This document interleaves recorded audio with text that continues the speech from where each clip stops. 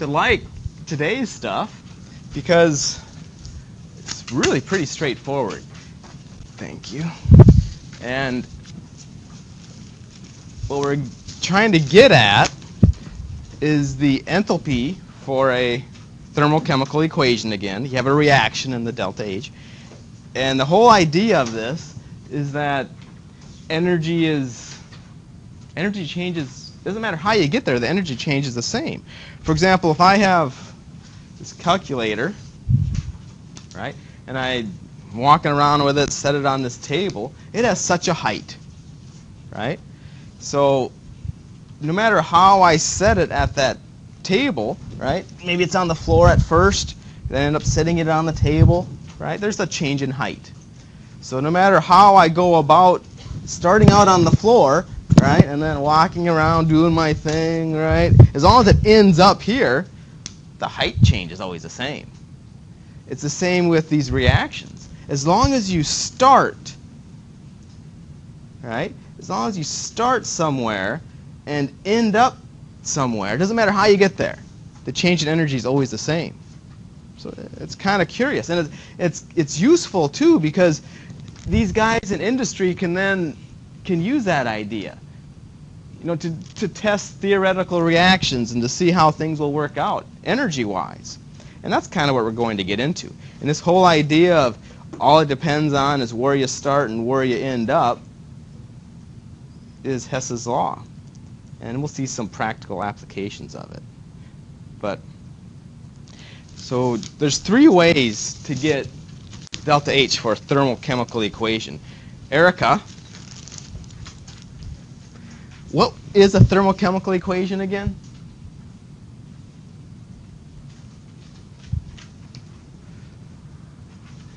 What's a thermochemical? It has to have what? Anybody?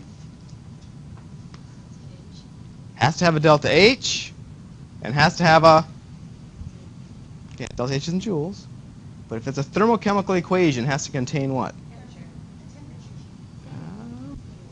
Has to. Ooh, someone said it uh, has to have a reaction, and it has to have a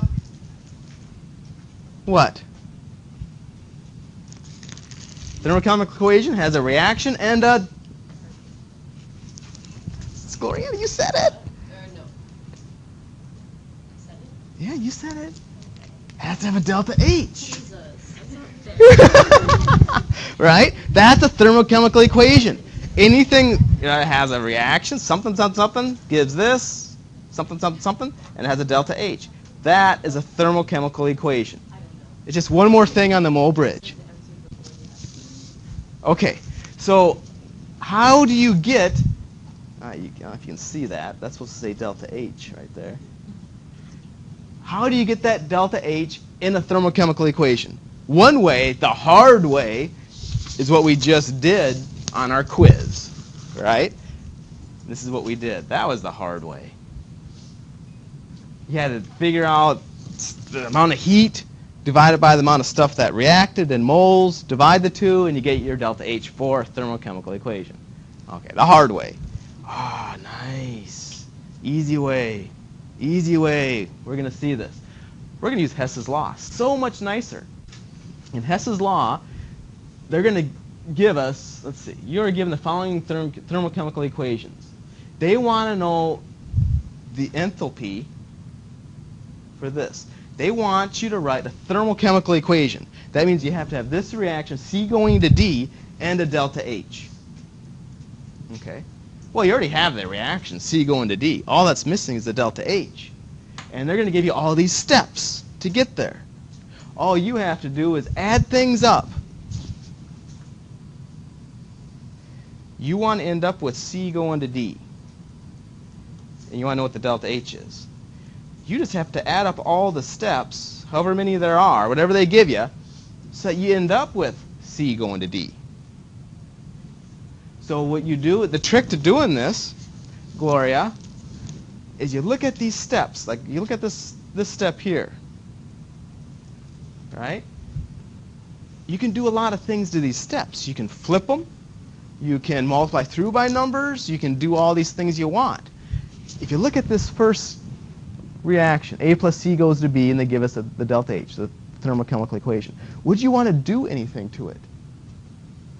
Would you want to flip it? Would you want to multiply through by something?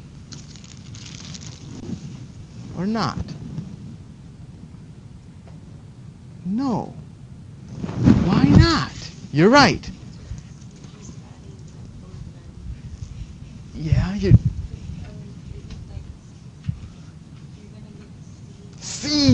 Look at that C. If you mess with that reaction, you just screwed it up. Because all you you want to end up with C down here. It's not 2C, and C is on this side. Don't do anything to it. Right? So let's leave that one alone. A plus C goes to B, and my delta H is 200 kilojoules. Leave it alone. Brianna, how about that second one? Would you want to do anything to it? These on the other side. So you just do what to that reaction? Flip it. Would we multiply through by anything? No. I mean, we could, but you just messed it up. So you just flip it. Okay, so let's flip it here. So we're going to have B on this side, A plus D on that side. When I flip a reaction, Taylor, what happens to the uh, delta H?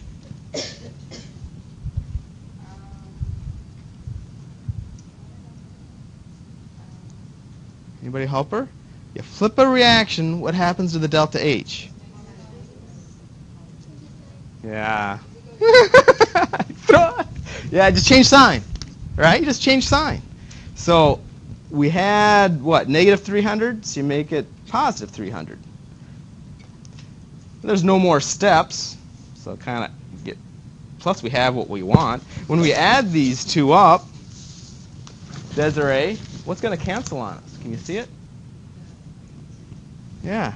A's are on opposite sides, B's are on opposite sides, right? And we get what we want, what we need. And then our final answer for the delta H, Lauren, would be what?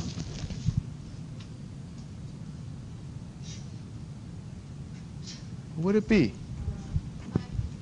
Someone said it. Who said it? 500 kilojoules. Just add them up is all?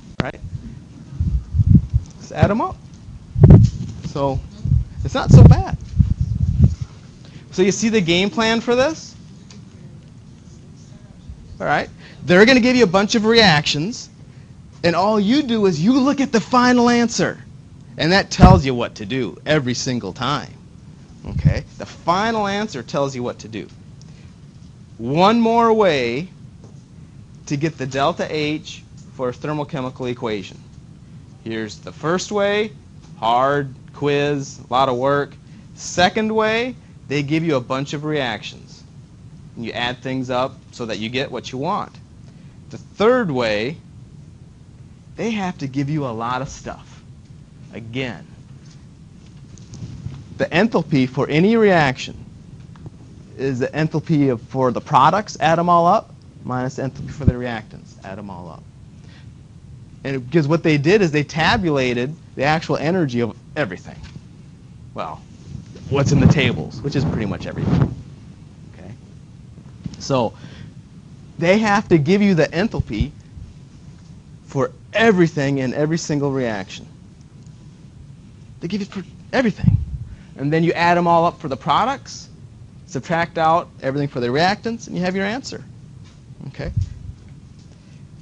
Now, this is the table that you're given. Jacqueline, this is what we want to find the enthalpy for, is that reaction in kind of that bloody red. Is everything in the table? Jacqueline, is everything in the table? Hmm? Why not? This is a hard, this one is worth two. This is a hard question.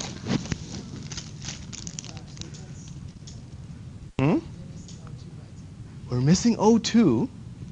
Exactly. And that's not going to be in any table.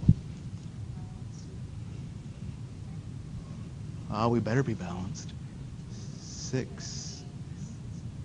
Oh, it's not balanced. oh, shoot. Oh, I screwed up here. Okay, they, we always start with balanced equations. How do we balance this bloody thing? How could we? You notice that? That's a good one. Oh, I need a two B's. Now it's balanced, right? Yeah, now it's balanced. Six oxygens on the side. Okay. So, why is oxygen not there? Any element in its natural state, O2, H2, sulfur is actually S8. I don't know if you knew that. But any element in its natural state, Fe solid, always zero. That's where their that's their baseline for energy for compounds.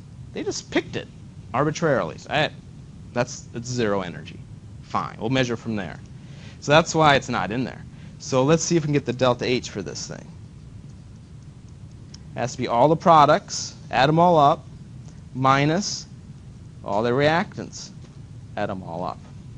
So, Yvette, I have, what would be your first number in here? Products minus reactants. Uh, 2BO. What's PBO? Products. Right. Products minus reactants. The products, right? the reactants.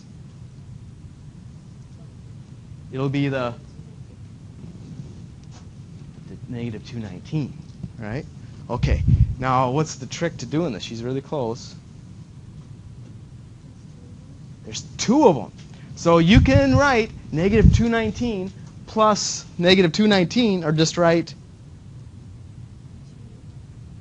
yeah, put a 2 out in front of this thing, right? So the stoichiometric coefficients will just come out front. All right? Make sense? Yvette? Okay. So keep going. Fill this guy out. All the products, put them in there. All the reactants, put them in there. Yeah, the O2, you just leave them out. Or you can write zero. It would probably look better if you wrote a zero in for them.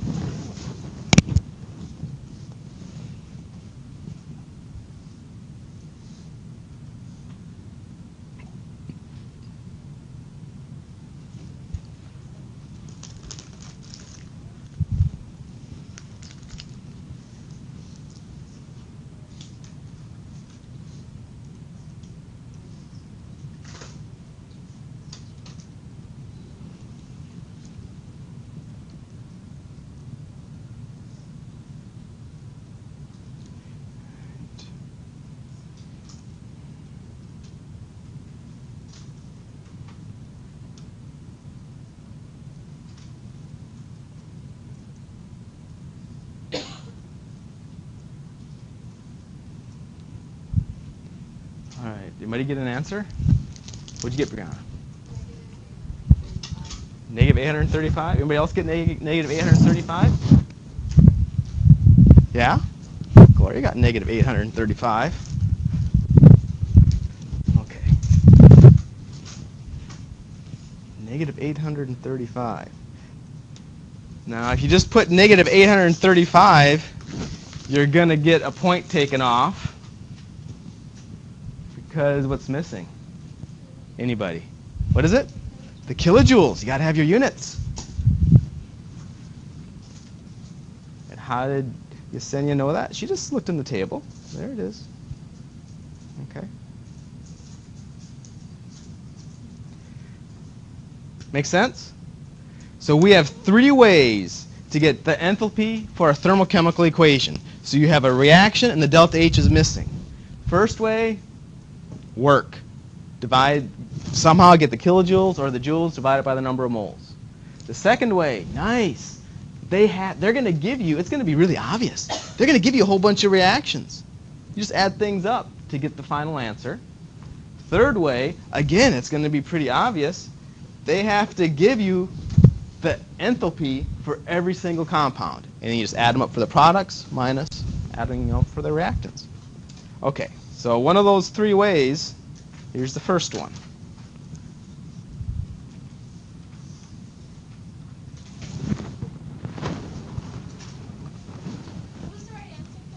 I think two people got negative 835, so I assume that was right. Yeah, Stephanie got it too. A bunch of people got negative 835 kilojoules. So try this one.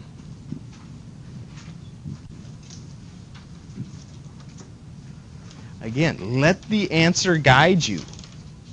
The answer guides you. So this is this is whose law? Hess's. Right?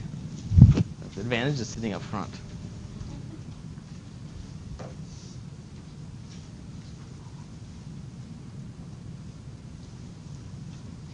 Take a look at that answer and let that guide you as to what you're going to do. Okay?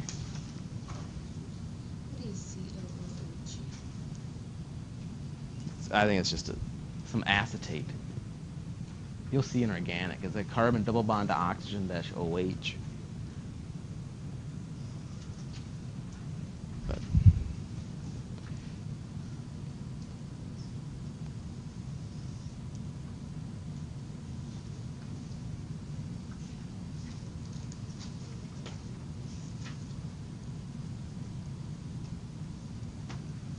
right? It's going to look something like that. You're going to have to be adding these guys up. And just have faith that it'll work out.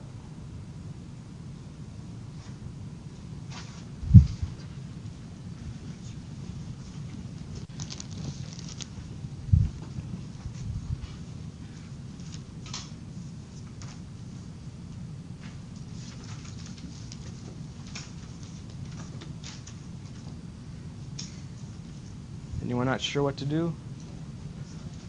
Okay. Oh yeah, not that one. So it's, it's going to be the reaction one. So what you got to do, is you got to look at look at your answer, and that tells you what to do to that first reaction. And see how see how the O2 shows up in a number of different places. So I wouldn't look at him. Don't look at him. And would look at this big thing. He doesn't show up in any other. He only shows up in one reaction. So let him guide you.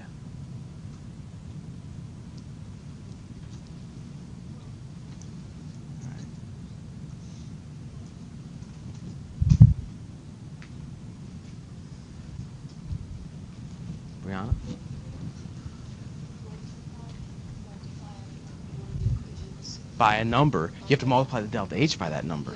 Yeah. Um, and, uh, Okay.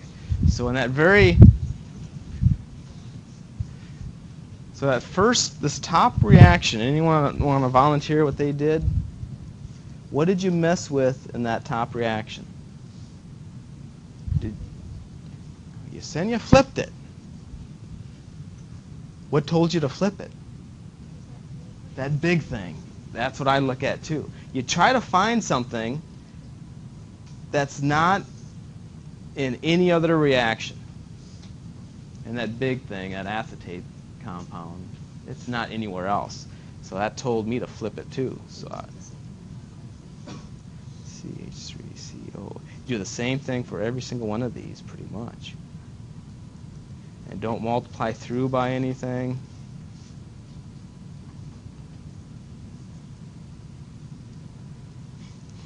So flipped it, so our delta H is going to be positive 874.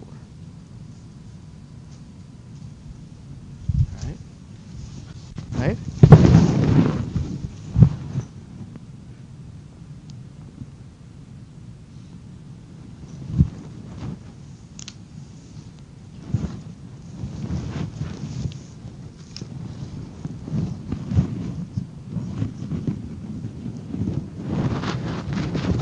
The second reaction?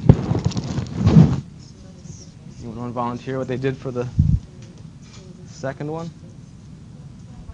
Multiply through by 2. Did you flip it or anything? If you multiply by 2, what do you do with the delta H? Multiply by 2.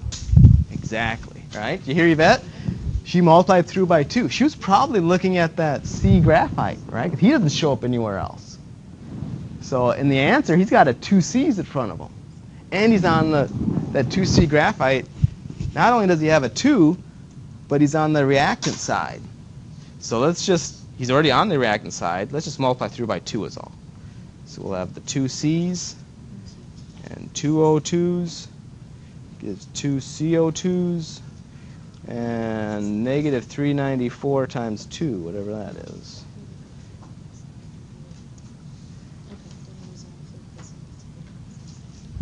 And the last one, to get things to work out,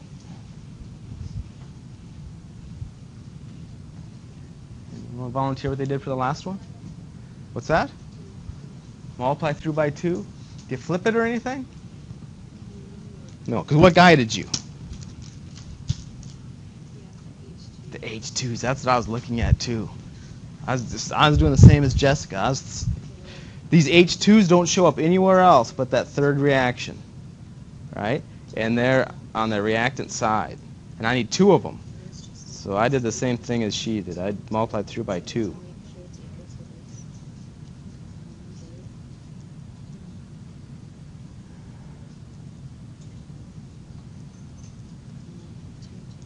Okay. Now, if you cancel stuff out, get everything to work out, add things up, it should work out. If it doesn't, we messed up somewhere.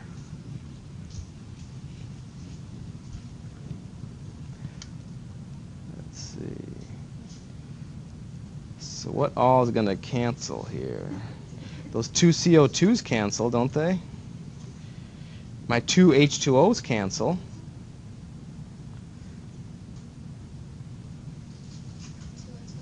Oh, yeah. Good. Right. Should work out, right? Thank you, Victoria. Add it to your pot. So add up everything over here, put it there, add up everything here, put it down on the product side. It should match exactly. If it doesn't, we screwed up somewhere. I think it matches, right? And then do the same now all the delta H's, just add them all up. Don't forget to multiply those ones times 2. And as a final answer, you got what? Negative 486? I don't know. Is that right? Okay.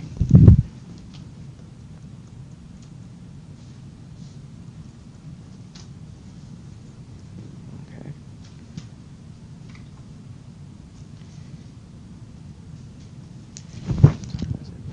We have five minutes here.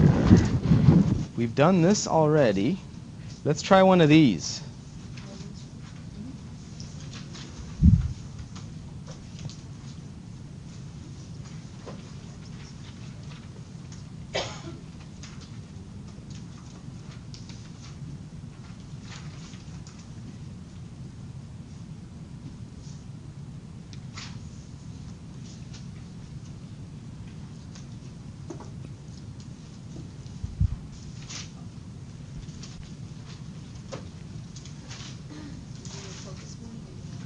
Hmm? Oh, I made this for these high school kids that were coming and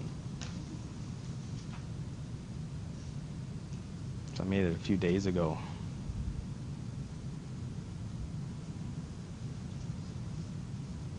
Yeah.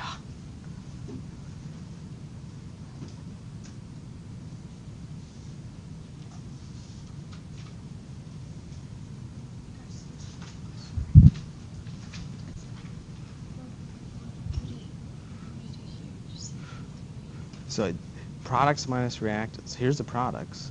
So they all have to go in here. The reactants all have to go over here.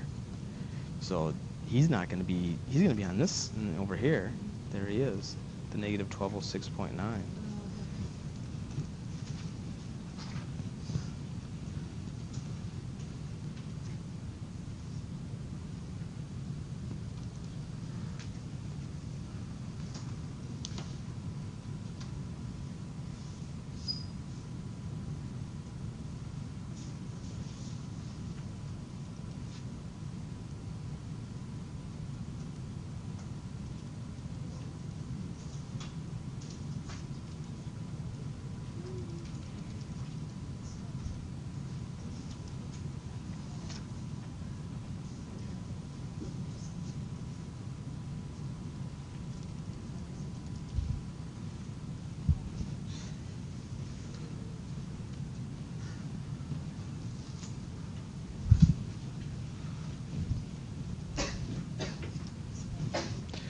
Anybody get an answer?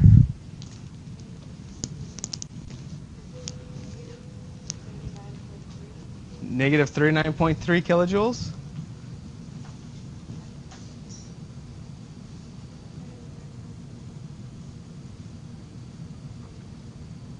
Oh, she got Gloria negative 39. Yvette, what'd you get? Huh?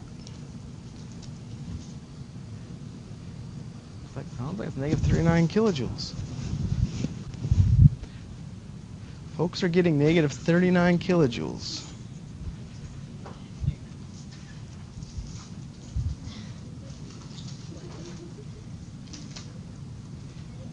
Add them all up for the products, subtract them out for the reactants.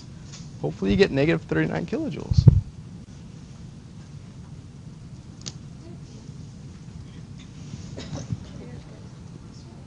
Uh, I don't know. I was doing the wrong one. No. we can put it in here quick. All right. Products minus reactants. Calcium, negative 543. Bicarbonate.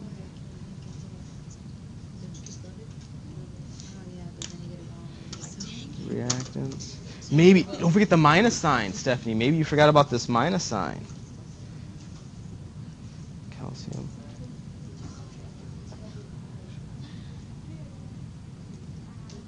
Hold it, hold it, hold it, hold it, hold it. Calcium carbonate.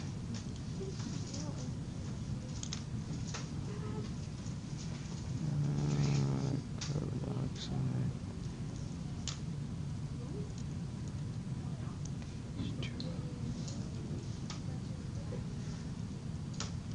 Okay. Now, on the homework, they might not give you these nice organized tables like I'm giving you. Right? You may have to look all this stuff up in a table in the back of the book. But on quizzes and exams, I, you know, I have to give all this stuff to you. Okay.